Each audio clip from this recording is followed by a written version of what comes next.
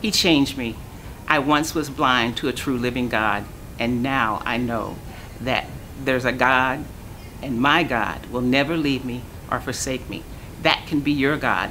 Follow me to Journey Church on Easter Sunday.